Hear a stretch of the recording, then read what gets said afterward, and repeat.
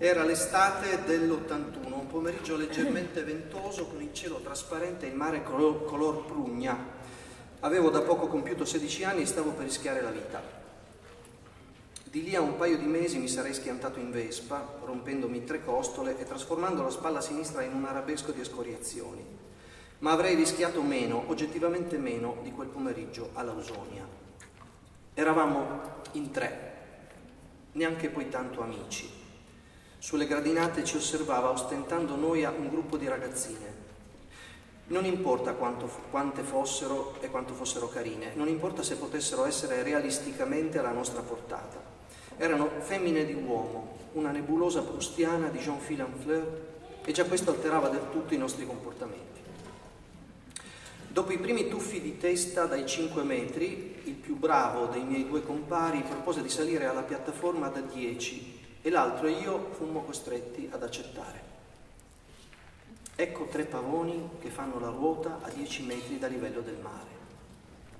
Le ragazze, da sotto, si erano messe la mano sulla fronte a mo' di visiera e ora ci guardavano più seriamente. Il tonfo che fa un corpo cadendo in mare da quell'altezza si guadagna l'attenzione a prescindere dalla qualità delle sue entrate in acqua. L'anno prima mi ero già tuffato un paio di volte dalla suma, mai di testa. L'idea di scendere coi piedi verso l'alto, contro quella superficie così scura e lontana, mi dava il voltastomaco. Il più bravo aveva eseguito un discreto carpiato e stava scrollando i capelli sulle ragazze che strillavano nel loro solito modo isterico. Io e l'altro inghiotivamo saliva in silenzio sul bordo del precipizio, cercando di non abbassare lo sguardo su quei puntini microscopici seduti in salvo laggiù, sulle sdraio e le gradinate. A quel punto mi venne l'idea della disperazione. Perché non ci buttiamo dal solarium? gli dissi. Intanto il più bravo era risalito. Beh, allora che aspettate? disse raggiante. Vuole buttarsi dal solarium, disse l'altro, che vedeva complicarsi la situazione di minuto in minuto. E beh, che ci vuole? disse il più bravo. Ma eh, non si può, è vietato, disse l'altro, che laggiù sul livello del mare era solito impennare la vespa tra le macchine in parcheggio e fare una notevole, quantità, una notevole quantità di altre cose vietate. L'ha già fatto un sacco di gente, basta sbrigarsi e non ci dice niente nessuno, disse il più bravo, guardandomi. Il solarium dava sul mare aperto, era protetto da una ringhiera verde che noi avremmo dovuto scavalcare per poi gettarci nel vuoto da un'altezza di almeno 12 metri. Io speravo che il mio bluff servisse a mandare a monte la sfida, a farci uscire tutti a testa alta, invece stavamo già salendo le scale del terrazzone più alto del bagno, seguiti dalle ragazze, due almeno parecchio carine, vedevo ora, che il più bravo era riuscito a invitare, che ridevano nei loro bikini pieni di fiori, già maledettamente adulte e consapevoli del loro potere. Scavalcare una ringhiera di un metro e dieci è una sciocchezza. Farlo con il baratro davanti, sapendo che in quel baratro ci dovrai finire, è un gesto piuttosto difficile. Il più bravo lo fece, poi si mise, punta, si mise in punta di piedi, il cornicione era profondo meno di 10 centimetri. Si resse con le mani dietro la schiena per qualche secondo, prese un bel respiro e saltò incontro al cielo. Vidi le braccia aperte a volo d'angelo, l'estensione, il piegamento. Sentii l'entrata in acqua come fosse la mia, talmente rumorosa da spingermi a un passo dal vomito.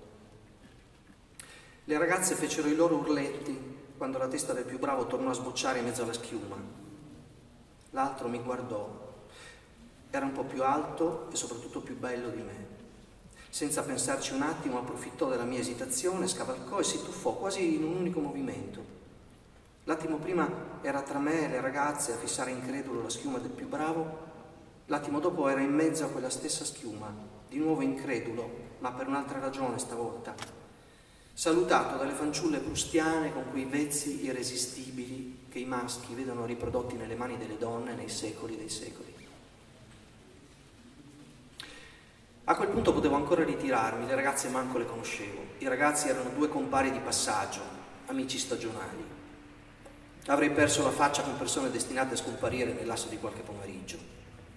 Avrei perso la faccia ammettendo di avere troppa paura, di fatto senza perderla, perché riconoscere i limiti del proprio coraggio non scalfisce la tua dignità, anzi ma quella era una missione, una ammissione da grande e io all'epoca ero ancora lontano anni luce dall'esserlo. Portai con enorme fatica la prima gamba al di là dell'ostacolo.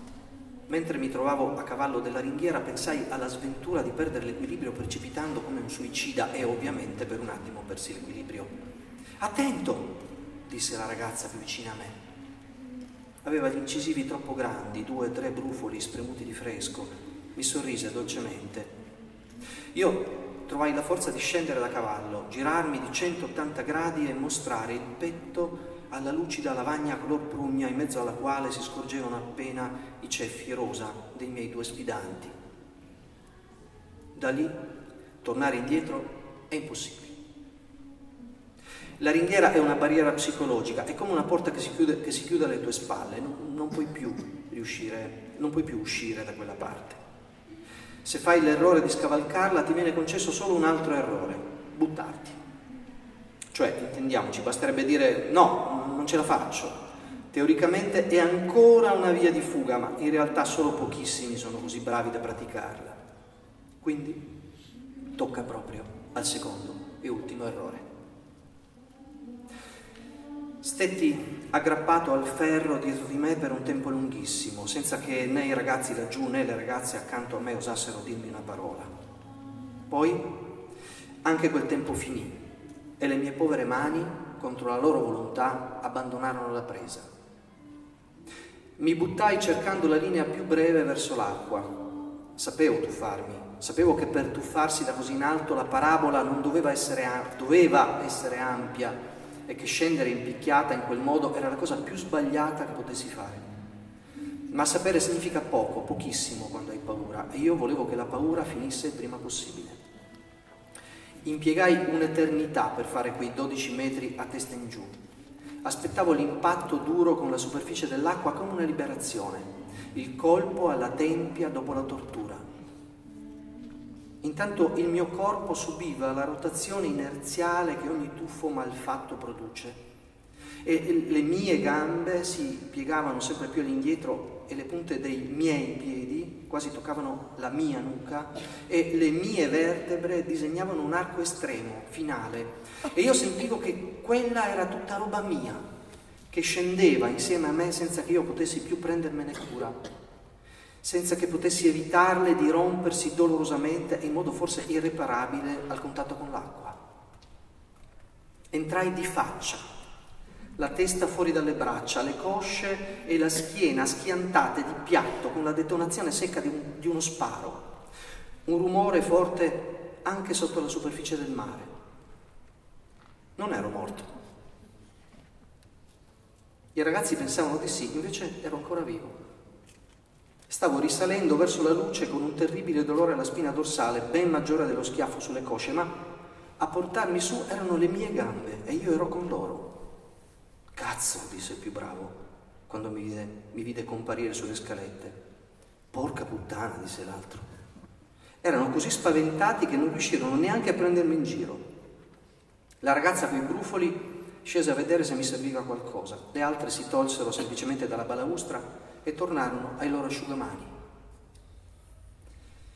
È sempre istruttivo osservare come un evento gigantesco, determinante nel flusso della tua vita, possa spesso risultare del tutto insignificante nella vita degli altri. Da fuori dovevano aver visto un ragazzino riccioluto tuffarsi in modo ridicolo dalla terrazza del solarium. Un piccolo diversivo per qualche risata, niente più. Anche i miei da fuori notarono solo che camminavo come se avessi ingoiato una scopa e che per qualche giorno trascorsi i pomeriggi disteso a letto. Da fuori un ortopedico avrebbe parlato di colpo di frusta. È così che funziona la vita, vista da fuori. Io però quel giorno all'Ausonia mi ero visto da dentro. Grazie.